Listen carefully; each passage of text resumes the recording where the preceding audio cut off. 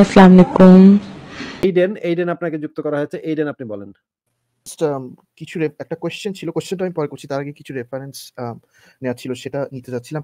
আপনি কোনো একটা এরকম কনভারসেশন আগে মানে জাস্ট গল্প করছিলেন কারও সাথে যে মুহাম্মদ এরকম হচ্ছে কোনো একটা কোনো একটা ইহুদি কোনো র‍্যাবায়ের সাথে মিট করার কথা ছিল। তো মানে ওরা হচ্ছে মুহাম্মদকে কিছু কোয়েশ্চেন করবে। কিন্তু মোহাম্মদ যেটা করছে যে রাতের আধারে কাউকে কিছু না বলেই বের হয়ে গেছে। এই এই জিনিসটা কোথায় আসছে একটু বলা যাবে? এই জিনিসটা সংশয় ডট কমে ঢুকে বনু কুরাইজা হত্যাকাণ্ড এই লেখাটা একটু সার্চ করেন। এই লেখাটার ভিতরে। আচ্ছা আমি একটু চেক করে দেখি। এই লেখাটার ভিতরে এটা আছে নাকি? একটু অপেক্ষা করেন।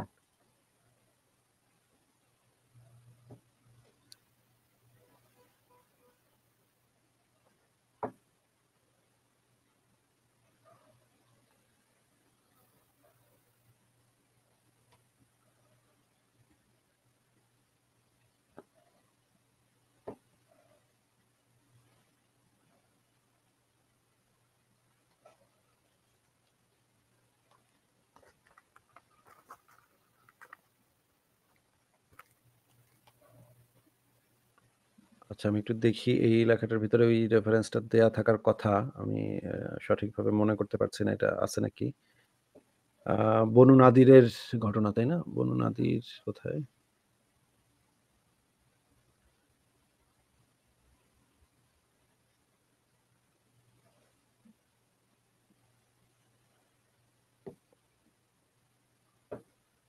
আচ্ছা, তারপর হচ্ছে বনু নাদিরের হত্যাকাণ্ড। আচ্ছা এখানে দেখেন বনু নাদিরের নিমন্ত্রণ দেখেন। এইটার দলিলটা দেয়া আছে এখানে। আলবিদা বা নিহায়া ইসলামিক ফাউন্ডেশন চতুর্থ খণ্ড পৃষ্ঠা ১৪৮। হু, হু। আ এইখানে যদি আপনি যান তাহলে এই জিনিসটা পেয়ে যাবেন।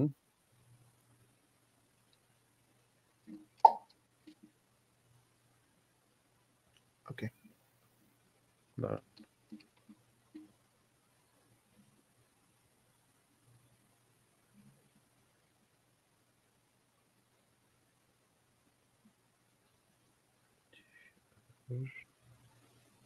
৩৩ হ্যাঁ? আচ্ছা।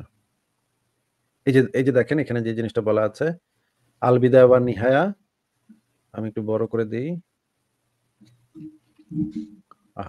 কই গেল?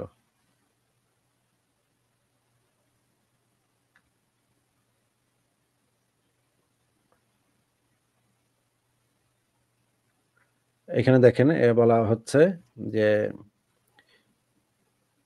১ম থেকে পড়ি। এখানে যেটা বলা আছে, এরপর রাসূলুল্লাহ বনু নাজির গোত্রের নিকট গেলেন। তার উদ্দেশ্য ছিল আমর ইবনে উমাইয়া নিরাপত্তা চুক্তিপ্রাপ্ত আমির গোত্রের যে দুজন লোককে হত্যা করেছে তাদের রক্তপণ পরিশোধে বনু নাজির গোত্রের সহায়তা কামনা করা। বনু নাজির ও বনু আমির গোত্রের মধ্যে পরস্পর মৈত্রী ও নিরাপত্তা চুক্তি ছিল। রাসূলুল্লাহ তারা আশ্বস্ত করল যে আমরা এই রক্তপণ পরিশোধে আপনাকে সাহায্য করব। এরপর তারা একান্তে মিলিত হলো এবং নিজেরা পরামর্শ করল যে মুহাম্মদকে হত্যা করার এমন সুবর্ণ সুযোগ আমরা আর আমরা পাবো না। রাসূলুল্লাহ যখন তাদের একটি ঘরের দেয়ালের পাশে বসা ছিল, তারা বলল, "কে আছে যে ছাদে উঠে ওখান থেকে একটি পাথর ফেলে দিয়ে মোহাম্মদকে হত্যা করে আমাদেরকে তার হাত থেকে নিষ্কৃতি দেবে?" আমর ইবনে জাহহাস এগিয়ে এসে বলল, "আমি এজন্য প্রস্তুত আছি।" সে মতে পাথর নিক্ষেপের উদ্দেশ্যে সে ছাদে উঠল আচ্ছা এটা হচ্ছে বর্ণনা। এরপরে দেখি আমরা রাসূলুল্লাহ তখনও সেখানে একদল সাহাবি সহ বসা ছিল। তাদের মধ্যে ছিল হযরত আবু বকর, ওমর এবং আলী। ওদের দুরভিসন্ধি সম্পর্কে রাসূলুল্লাহ এর নিকট আসমানি সংবাদ এসে যায়। মানে এই যে যেই ঘটনাগুলা ঘটতেছে, এই ঘটনাগুলো কিন্তু অন্য কোনো সাক্ষী নাই। মানে এই যে দেয়ালের পাশে যে বসা ছিল, পাথর নিচ্ছে, পাথর নিয়া পাথরটা মেরে উপর থেকে ফেলে মুহাম্মদকে মেরে মেরে ফেলবে। এইটার কিন্তু আর কোনো সাক্ষী নাই। শুধুমাত্র মোহাম্মদের কাছে আসমানি সংবাদ আসছে। আইডেন ভাই এট কি দেখা যাচ্ছে? জি। এই মুহাম্মদের কাছে আসমানি সংবাদ আসলো যে এই যে দুরভিসন্ধিটা সম্পর্কে মুহাম্মদের শুধুমাত্র মুহাম্মদের কাছে আসমানি সংবাদ আসছে। যে, "এই মুহাম্মদ তোমারে কিন্তু মারতে মারতে ওরা কিন্তু পাথর-টাথর নিয়ে বসে আছে, হ্যাঁ? তোমারে। কিন্তু মারতে মারতে মারবে।" হ্যাঁ? এরপরে কি হইল দেখেন, তিনি কাউকে কিছু না বলে উঠে পড়েন এবং মদিনার উদ্দেশ্যে যাত্রা করেন। মানে হচ্ছে আ এই যে তখন কিন্তু আবু বকর, ওমর, আলী তার সাথে বসা কিন্তু। এখন এই যে পাথরটা যদি উপর থেকে ছাইড়া মাইরা ফেলে তাইলে কিন্তু ওদের গায়েও কিন্তু পড়তে পারে। কিন্তু মুহাম্মদ কিন্তু কাউরে কিছু না বইলা চুপচাপ চিপা দিয়া চামি দিয়া কাইরা পড়ছে এখান থেকে। দেখেন। তিনি আচ্ছা। কাউকে কিছু না বলে মদিনার উদ্দেশ্যে যাত্রা করেন। দীর্ঘক্ষণ ঘটনাস্থলে ফিরে না আসায় সাহাবীগণ তার খোঁজে বের হন। মদিনার দিক থেকে আগত এক লোককে দেখে তারা রাসূলুল্লাহর কথা তাকে জিজ্ঞেস করে। সে ব্যক্তি বলছিল যে, আমি তো তাকে মদিনায় প্রবেশ করতে দেখেছি এ সংবাদ পেয়ে সাহাবিগণ সকলে মদিনা ফিরে এলেন এবং রাসূলুল্লাহর নিকট সমবেত হলেন। তিনি ইয়াহুদীদের বিশ্বাসঘাতকতার কথা তাদেরকে অবহিত করলেন। এই যে দেখেন এই যে বনু নাজিরের সাথে যে আলাপ করতে গেছিল সেখানে যে ঘটনাটা ঘটছে সেই ঘটনাটা এখানে বর্ণনা করা আছে। আইডেন ভাই দেখা যাচ্ছে এটা? জি। আচ্ছা এখন আমরা দেখব যে ওই যে গেল যে গেছে কেন? ওইখানে মানে যাওয়ার উদ্দেশ্যটা কি ছিল সেটা একটু পরে দেখতেছি। এইখানে তো এই জিনিসটা পরিষ্কার যে এই যে বনু নাজির গোত্র যে দুরভিসন্ধি করছিল বা পাথর টাথর নিয়ে বসেছিল উপরে মানে পাথর নিক্ষেপ করে মেরে ফেলবে এটা তো আর কেউ দেখেনি তাই না? না। খালি মোহাম্মদ রে আসমানি যে ইব্রাহিম এসে কইছে হাই মোহাম্মদ পলা পলা। ওই মানে ওরে তোরে তোর- কিন্তু মারবে। পলা যা পলা যা। তখন মোহাম্মদ ওর সঙ্গী সাথীদের রাইখা চম্পট দিছে এখান থেকে। তার তো মানে মনে করেন পাথর মারলে তো ওমরের ঘাড়েও পড়তে পারতো আলীর ঘাড়েও পড়তে পারতো আবু বকরের ঘাড়েও পড়তে পারতো। এরাও তো মরতে পারতো তাই না? সাহাবিদের রাইখা মোহাম্মদ চিপা দিয়ে পালা গেছে নাকি? আসিফ ভাইয়া? রাইট হ্যাঁ, বলো। আসিফ ভাই, আপনি যদি চিন্তা করে দেখেন যে মোহাম্মদ কতটা সেলফিশ ছিল নর্মালি আমরা যারা নর্মাল মানুষ আমরা, আমাদের যদি কোনো ফ্যামিলি এরকম বিপদে পড়ে অথবা ধরেন আমরা তিনটা বন্ধু বান্ধব বসে আছি কোথাও, আমরা জানি যে কেউ এসে আমাকে গুলি করে মারবে হ্যাঁ? সেখানে তো আমি আমার বন্ধুদেরকে নিয়েই পালাবো, আমি তো একা একা চলে যাব না, আমি তো আমার বন্ধু বান্ধবদেরকে বলব যে, এই, এরকম কিন্তু একটা হতে যাচ্ছে, তোরা কিন্তু চল আমরা এখান থেকে সবাই চলে যাই। অথবা এরকম যদি হয় যে আমরা সবাইকে নিয়েই সবাইকে বাঁচানোর চেষ্টা করব, যদি ভালো মনের থাকে। এখানে মোহাম্মদের মানে ক্যারেক্টারটা কীরকম, কতটা সেলফিশ যারা তাকে ফলো করে, যারা তার জন্য জীবন দিয়ে দিবে, তাদেরকেই রেখে সে নিজের জীবন বাঁচানোর জন্য সে তাদেরকে রেখে পালিয়ে চলে গেল। হ্যাঁ? আর সেকেন্ড পয়েন্টটা হচ্ছে যে, এখানে যদি মোহাম্মদ আসমান থেকে যদি সে মানে ইশারা পায় যে, জানে যে, না, এরকম কিছু একটা হবে যে, তাকে মারার একটা প্ল্যান হচ্ছে, সেই হিসাবে তো তাহলে তার ওই ওই ইঙ্গিতটাও পাওয়ার কথা ছিল যে, যখন তাকে বিষ মেশানো হলো মাংসের সাথে, সেটা কেন সে পেল না তখন? হ্যাঁ সেটা পয়েন্ট সেটা পয়েন্ট ঠিক আছে। আমরা এই জিনিসটাকে মানে সত্য ধরেই এই আলোচনাটা চালাচ্ছি যে আসলে তার কাছে একটা সংবাদ আসছিল। কিন্তু তারপরে তো মিলতেছে না। কারণ হচ্ছে যদি সংবাদ আইসাও থাকে তাহলে তোর বলার কথা ওই বেটারা পলা পলা পলা ওইখান থেকে পাথর নিয়ে সাহাবিদের তো আগে মানে মানে ইয়া করার কথা। কিন্তু মোহাম্মদ সেটা না করে নিজে নিজে একলা একলা চম্পট মারছে। এইখান থেকে পলাই গেছে। আচ্ছা ঠিক আছে এখন দেখি যে আমরা এখানে গেছিল কেন? এই যে এখানে যে যাওয়ার যে ঘটনাটা সেটা এখন আমরা একটু দেখি। আসিফ ভাই আমি একটা কথা বলতে পারি? হ্যাঁ হ্যাঁ বলেন। ভাই অ্যাট লিস্ট মুশফিক মিনার তো সবার সামনে বলছে যে সে ভয় পাইতেছে। আমার সাথে ওয়ান টু ওয়ান আলোচনার ক্ষেত্রে সে ভয় পাইতেছে। মোহাম্মদ মোহাম্মদ তো মুশফিক মিনার চেয়েও বেশি বড় ভীত কি কি একটা অবস্থা। হ্যাঁ। আচ্ছা আহ, ঠিক আছে এবার আমরা একটা হাদিস দেখব। সেটা হচ্ছে যে কত নম্বর দেখলাম? না এটা না চব্বিশ আচ্ছা। এবার আমরা এই হাদিসটা একটু পড়ি। এখানে দেখি, দেখেন। সুনান আবু দাউদ শরীফের দুই হাজার নয়শো চুরানব্বই নম্বর হাদিস। এখানে বলা হচ্ছে যে, দেখেন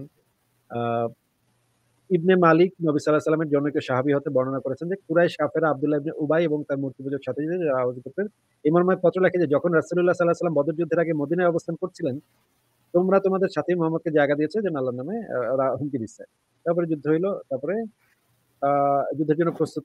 এই খবর নবী সাল্লাহ কাছে পৌঁছলে তাদের সাক্ষাৎ করেন এবং বলেন, তোমরা কুরাইশদের নিকট হতে উত্তেজনা সৃষ্টিকারী চিঠি পেয়েছ, কিন্তু ইত্যাদি ইত্যাদি। তারা তখন রাসূলুল্লাহ সাল্লাহ সাল্লাম হতে এরূপ কথা শুনলো। তখন তারা বিচ্ছিন্ন হয়ে পড়ল। এই খবর কুরাইশ কাফেরদের কাছে পৌঁছলো। তারা বদর যুদ্ধের পর ইয়াহুদের নিকট এটা এটা এটা আচ্ছা বনু নাজির ইহুদিদের বিরুদ্ধে বিদ্রোহ ঘোষণা করলেন। নবী সাল্লাহ সাল্লামকে এই মুহূর্তে পত্র লিখলো। এই যে দেখেন, আপনি আপনার সাথীদের থেকে ত্রিশ জন নিয়ে আমাদের কাছে আসুন। এই যে বনু নাজির দেখেন এ- এইখানে দেখেন, তখন বনু নাজির, নাজিরের ইয়াহুদিরা বিদ্রোহ ঘোষণা করল এবং তারা নবী সাল্লাহ সাল্লামকে এই মত মর্মে অবহিত করে যে, আপনি আপনার সাথীদের থেকে ত্রিশ জন নিয়ে আমাদের কাছে আসুন এবং আমাদের ত্রিশ জন আলিম আপনার সঙ্গে এক আলাদা স্থানে দেখা করবে। তারা আপনার কথা শুনবে। যদি তারা আপনার উপর ইমান আনে এবং বিশ্বাস স্থাপন করে, তবে আমরা আপনার উপর ইমান আনব। এই যে, এই ঘটনাটা মানে তাদেরকে ডাকলো, মোহাম্মদকে ডাকলো যে আহ, বনু ডাকলো যে আপনি ত্রিশ জন নিয়ে আসেন আমাদের থেকেও ত্রিশ জন আলেম থাকবে এবং একটা বিতর্কের মতো হবে। আর কি প্রশ্ন প্রশ্ন করবে আলেমরা আপনি নবী কিনা এটা চেক করবে চেক করে দেখবে। এই ঘটনার পরে আমি আপনাকে যে জিনিসটা দেখাইলাম এই যে মোহাম্মদ লোকজন নিয়ে গেল এদের সাথে আলাপ টালাপ করতে আলাপের মাঝখানে মোহাম্মদ চিপা দিয়ে পলায় আসছে হুম? কারণ সে মোহাম্মদ তো জানে যে এই ত্রিজন আলেমের প্রশ্নের জবাব সে দিতে পারবে না হ্যাঁ? হুমকি দামকি দিতে পারবে। এখন দেখেন কি হইল ঘটনা কি হলো যে মোহাম্মদ পলায় আসলো তার সেই রাতে পরদিন সকালবেলা রাসুল্লাহ সাল্লাহ সাল্লাম একদল সেনাবাহিনী নিয়ে তাদের উপর হামলা করেন এবং তাদের অবরোধ করে বলেন, আল্লাহর শপথ, তোমরা যতক্ষণ না অঙ্গীকার করবে, ততক্ষণ আমি তোমাদের ব্যাপারে নিশ্চিত নই। তখন তারা ইহুদিরা অঙ্গীকার করতে অস্বীকার করে, ফলে তিনি সেদিন তাদের সাথে দিনভর যুদ্ধে রত থাকেন। দেখেন, সেই রাত্রে এই যে ত্রিশ জনকে আনা হইল, ত্রিশ জন গেল, ত্রিশ জন গেল, ওই যে যেখানে আলাপ করতে গেল তারা, এইখানের বাকি অংশটুকু এখানে নাই যে এই রাত্রে কি হয়েছিল, এই অংশটুকু এই হাদিসে নাই, সেটা আবার আলবিদা আবার নিহাতে আছে। মাঝখানে যে ঘটনাটা ঘটলো সেটা হচ্ছে যে মোহাম্মদ চম্পট দিল রাতে মানে চিপা দিয়ে পালাই গেল। পরদিন সকালবেলা মোহাম্মদ কি করল? দলবল দিয়ে এসে হামলা করল। মানে মোহাম্মদ উত্তর প্রশ্নের উত্তর দিবে না আলিমদের প্রশ্নের উত্তর দিবে না কিন্তু হামলাটা ঠিকই করবে। ফারাজ ভাই দেখছেন মানে বিষয়টা দেখছেন? মানে আহ, একেবারে মুশফিক মিনারের ভাবগুরু মানে মোহাম্মদ তাই না? দান্দাবাজি তো জায়গা থেকে শিখছে তাহলে। সিরাজপুর সিরাজপুরে সে এগুলো শিখছে তাহলে মোহাম্মদের থেকে। মনে করেন যদি সম্ভব হইতো মনে করেন আপনার বাসায় যদি মহাশ- মুশফিক মিনার যাইতে পারতো আর কি তাহলে থাকতো তাহলে হয়তো সেই অ্যাটেম্পটাও নিতে পারতো। মানে লেভেল মোহাম্মদের মতো পৌঁছাতে পারতো আর কি তার যে সঙ্গী যে মানে রাহুল সে কিন্তু ঠিকই আবার বলে দিচ্ছে যে এই বাসায় পৌঁছে যাই আমরা বাসায় পৌঁছে যাই বাসায় পৌঁছে সারা জীবন ভিক্ষা করে গেছে তো ভাই বাসায় পৌঁছানো তো তাদের কাজই। আপনি যখন আপনি যখন দেশে ছিলেন আপনার বাসায় ভিক্ষা নিতে আসতো না। প্রতি মাসে ভিক্ষা নিতে আসে মসজিদ আসতো না। বাসায় তো পৌঁছাইবে এটা তো আমার বাসা থেকে তো কাওয়াই তো। পাইলে বসে বড় করতো।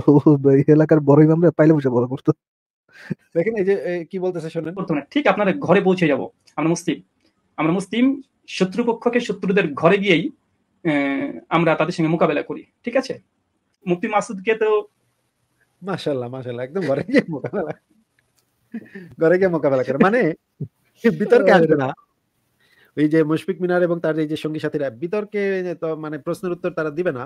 ওখানে চম্পট দিবে বলবে যে আমার পাহাড়ের উপরে লোক দাঁড়া ছিল আমার পাথর মেরে মেরে ফেলবে। আমার জিব্রেল এসে কয়ে গেছে। হ্যাঁ এই জন্য আমি চিপা দিয়ে আমি ভয় পাইলে আপনি যদি মনে করেন আমি ভয় পেয়েছি পাইছি তাহলে। আমি কিন্তু কিন্তু আল্লাহ আপনি যদি ভয় আমি ভয় পেয়েছি। আপনি কি আপনি কি যুক্ত হয়েছেন? আমাকে কোশ্চেন করতে কোনো টল ভিডিও বানানোর জন্য? ভাই। I. Totally forgot it Asif ভাই আই টোটালি ফরগট ইট আমি ওই দিনের ভিডিওটা ছাড়ছিলাম লাস্টে আবার মনে হচ্ছে যে ওই ভিডিওটা মিস হয়ে গেছে। ওই ভিডিও নিয়ে কিছু মিম বানানো উচিত। ছাইরে প্রথম ডায়লগটা তার মুখ থেকে আমি প্রশ্ন করতে চাই আপনি কি কোনো নতুন ট্রল ভিডিওর ম্যাটেরিয়াল খুঁজতেছেন? একেবারে দিয়ে দিছে আপনার ম্যাটেরিয়াল দিয়ে দিল ম্যাটেরিয়াল রেডি আমার কাছে রেডি আছে ভাই নেন আসেন ভাই আমার মাইরা যান পেশেন্টটা মেরে যান। আসেন আপনি every single time every si- every single time না বাট মেজর মেজর টাইম তার সাথে কনভারসেশন হইছে। হোয়াট হ্যাপেন নেক্সট মিনারের পর অবস্থাটা কি ছিল? আমি কনফিউজড হয়ে গেছি যে কোন অংশটুকু মিম বানাতে হবে। মানে পুরাটাই তো মিম একটা হ্যাঁ? পুরো কনভারসেশনটাই তো মিম হয়ে গেছে। কোন অংশটুকু কেমনে কাটবেন? এটা একটা ডিফিকাল্ট কোশ্চেন তাই না? ভাই বেস্ট পার্ট ছিল আমার আমার কাছে মোটামুটি প্লেজারিজম দেওয়া যে লাভটা দিল এটা একটা প্লেজারিজম আসি বইজন প্লেজারিজম করছে। এটা ভাই এটা ওইটা যেটা এই যে এটা সবচাইতে বুদ্ধিমান। এদের ভিতরে সবচাইতে ইন্টেলিজেন্ট বুঝছেন? প্লাসেরিয়াম করছে। সে হার্ড হয়েছে আমি তারা কেন বলছি? তার আমি লজিক্যাল পার্সন বলে মনেই করি না।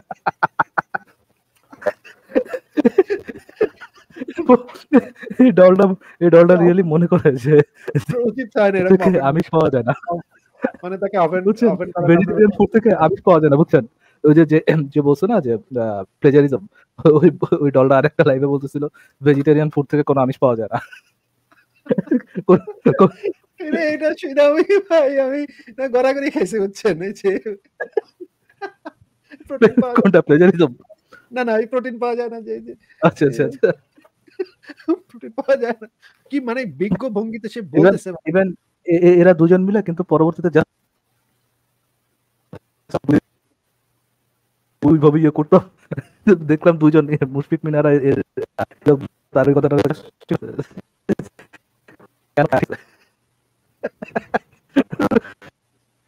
কমেন্ট করে ধরা দিচ্ছে বুঝছেন? সে সে এমন ভাবটা নিচ্ছে যে কমেন্ট আমি করছি। সে- মনে করেছে আমি বসে বসে তাদের লাইভ দেখি। এই রে ভাই। না আমি কোনো কোনো লাইভ লাইভে বসে দেখি না পরবর্তীতে ফ্রি হলে দেখি। বাট ডোন্ট ওয়ারি আমাদের আমার চোখে আমি যদি দেখি আমার চোখে এই ধরনের স্টুপিড এই ধরনের মহান স্টুপিডিটি আমার চোখে কেন, কারও চোখ থেকে এড়াতে না। আচ্ছা, ভাই এই এই আইডেন ভাইকে আইডেন ভাই আপনি কি রেফারেন্সগুলো পেয়েছেন নাকি আরও কিছু মানে ইয়া বাকি আছে? আহ, জি হ্যাঁ পেয়েছি। জাস্ট আহ, আপনার স- সংশয় যে লেখাটা টাইটেলটা কি? আহ, বনু কুরাইজা গণহত্যা। ওকে আরেকটা জিনিস যেটা জানার ছিল সেটা হচ্ছে এই মোহাম্মদ যে তার হচ্ছে যেই পালিত মানে পালিত ছেলের যেই আহ, যে বউকে দেখে তার হচ্ছে ওই আকাঙ্ক্ষা জাগছিল। এই জিনিসটা কি কোথায় লেখা আছে? এটা ভাই এটা নিয়ে আমি এখন পর্যন্ত লিখি নাই। এটা আপনি অন্য আচ্ছা। লেখকদের লেখার ভিতরে হয়তো পাবেন। কিন্তু এটা নিয়ে এখন পর্যন্ত আমার কোনো লেখা নাই। আচ্ছা এটা এমনি কোথায় খুঁজলে পাওয়া যাবে?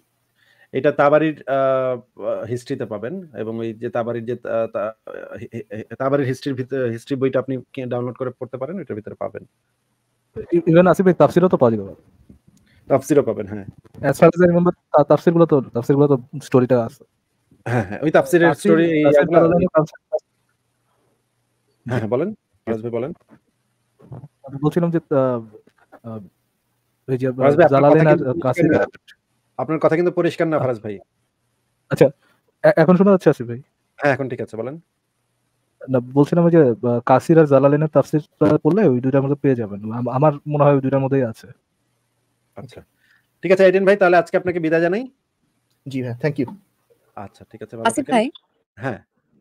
আসিফ ভাইয়া, এই যে মুমিনরা মাঝে মাঝে এসে যে দাবি করে যে আমরা যারা মানে যারা নাস্তিক, তাদের কোনো কোনো কিছু দায় ভা- দায়ভার নেই, তারা এই আমরা নাকি যে পর্ন দেখি, এটা করি, সেটা করি, তারপরে কিন্তু আমার তো মনে হয় এই যে মোহাম্মদ যে, এই যে এত দাসী টাসি ছিল, তারপরে এই যে ছেলের বউকে দেখে যে তার যে মানে ই হতো, এই জিনিসগুলো তো তাহলে মোহাম্মদের সময় একটা মানে পর্নের মতোই তো একটা বলা যায়। তার পুরো লাইফটাই তো ছিল সে ছিল একটা পর্ন স্টার আমার কাছে যেটা মনে হয়। ঘরের ভিতরে পর্ন হাব থাকলে আর বাইরে যাওয়ার দরকার কি? ইন্টারনেটে দেখার দরকার কি? তাই না? পর্ন হাব কিলা বসে আছে। বাইরে গিয়ে কি করবে বেচারা? ঠিক আছে আমাদের ফারাজ ভাই আমারও সময় শেষ হয়ে গেছে। অনেকক্ষণ করলাম হ্যাঁ মোহাম্মদ সাবস্ক্রিপশন কিনা না? মোহাম্মদ সাবস্ক্রিপশন সে নিজের ঘরেই নিজের ঘরেই বানায়। হেরেম বানায় রাখছে একদম হাদিসে উল্লেখ আছে, হেরেম। হাদিসে একদম পরিষ্কার ভাবে আছে হেরেম ছিল। আচ্ছা ওইটা হাদিসটা দেখাবো না আমরা, মোহাম্মদের যে হেরেম ছিল। তাইবুর ভাই, আপনাকে